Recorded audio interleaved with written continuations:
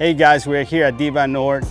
Today we're gonna talk about the Josh Donaldson drill. This is a connection drill. What we want is the athlete to stay connected early. Ideally, we want a 90 degree angle from the barrel and the vertical bat angle right here, okay? Go ahead and do it.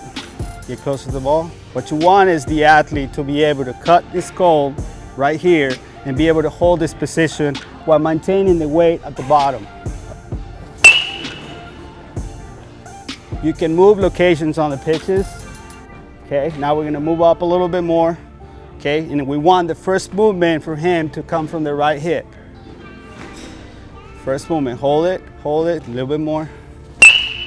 Okay, you can progress on this drill moving to side toss and you can also use plyo balls.